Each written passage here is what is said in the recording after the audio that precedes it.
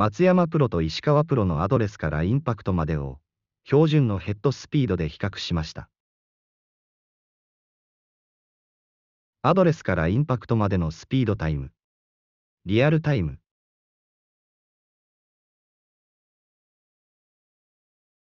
アドレスからインパクトまでのスピードタイム。10倍速。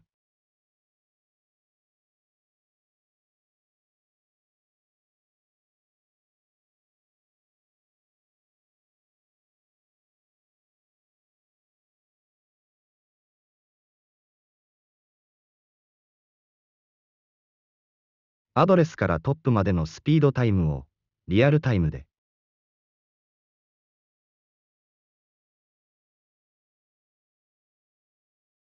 アドレスからトップまでのスピードタイム。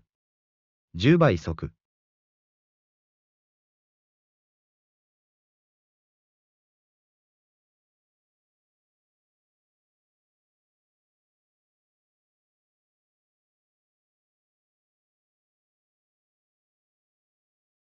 トップからインパクトまでのスピードタイムをリアルタイムで。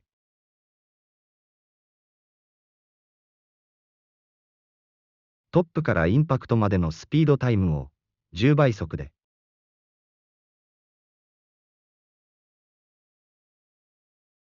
松山プロはゆったりリズムで、一方、石川プロはクイックリズムであるが、ダウンスピードに関しては、両プロともほとんど差がない。